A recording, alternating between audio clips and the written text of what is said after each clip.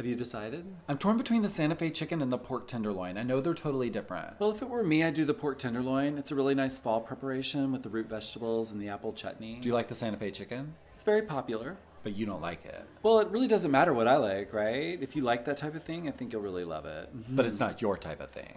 Not really, but it's very popular. I can't decide. Surprise me. Oh, please don't do that. Seriously, I like everything. Just pick one and surprise me. I really don't like doing that. I feel like no matter what, you'll be disappointed. I can't be disappointed. I like everything. Okay, okay, I'll surprise you. Great. Yay. All right, here we are, the filet Oscar with the lobster tail added and an extra side of truffle potatoes. Wait, wait, what? I don't think this is me. It's you. You said surprise me. But we didn't even discuss this. I mentioned the pork tenderloin and the Santa Fe chicken. Surprise!